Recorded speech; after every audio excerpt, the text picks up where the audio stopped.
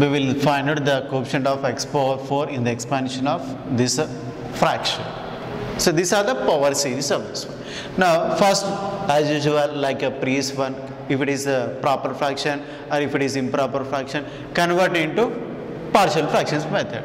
Right. First let 3x by x minus 2 into x plus 1 equal to first observe whether it is proper or improper degree of the numerator is 1 and the degree of denominator is how much? 2 so clearly this is the proper fraction right? So as usual we know that x by this is a linear term ax by x minus 2 plus this is also linear term b by x plus 1 right? Take it as equation number 1 and find out the values of a and b write LHS value and for the RHS take LCM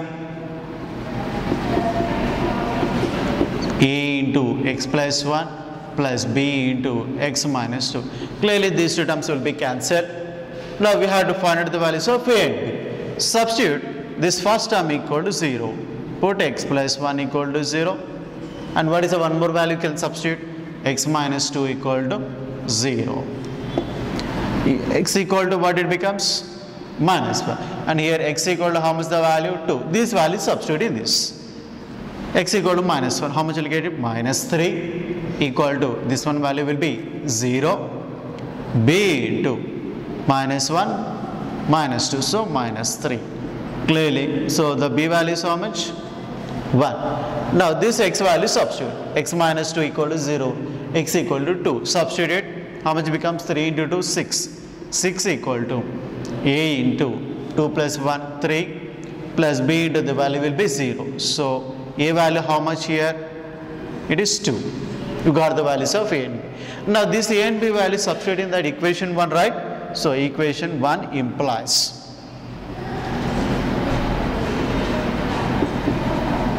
equal to a by x minus 2 plus b value 1 by x plus 1 till now we did that same as like partial fractions okay? Did. Now we had to convert in terms of powers of x. And afterwards we need to find out coefficient of x power 4 right? Uh, 2 by here what is a constant? Minus 2 constant convert into 1 by taking minus 2 common if you take minus 2 common what will get it here 1 minus x by 2 observe it minus 2 into 1 minus 2 minus 2 into minus x by 2 will be plus x. And here already the constant is 1 there is no problem. Right? If you want to convert into power series of x convert constant into 1 by taking that term into common. 2 2 will be cancelled. Minus 1 minus 1 into 1 minus x by this is in the denominator. If you shift to numerator it becomes whole inverse now here this one shift into numerator what it becomes? 1 plus x whole power minus 1 now we know that the power series of the expansion is 1 minus x whole power n 1 minus x whole power 1 what is that uh, power series of expansion? 1 plus x plus x square plus and so on. Now, what is the power series of 1 plus x whole inverse 1 minus x plus x square plus and so on. There is an alternative signs are there. Those applying here. Minus 1 into 1 minus x by 2 whole inverse. This is in this one model.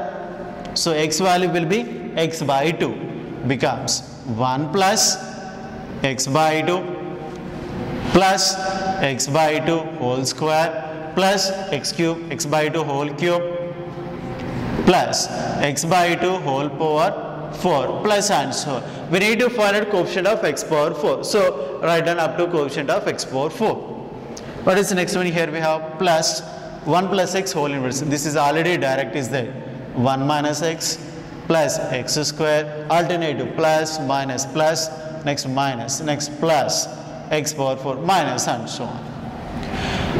Now, here we need to find out coefficient of x power 4. Coefficient of x power 4. They are asking to find out the coefficient of x power 4. Now, in this uh, x power 4, where it will be there? Here. There is x by 2 whole power 4.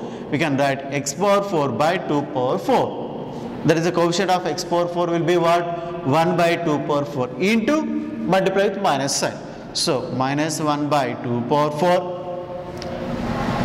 Other than this term we don't have the x power 4 term. Now in this expansion what is the coefficient of x power 4? We have only one term that is the coefficient is 1. Now minus 1 by 16 plus 1 minus 1 plus 16 so 15 by 16 so this is the coefficient of x power 4 in this one problem right?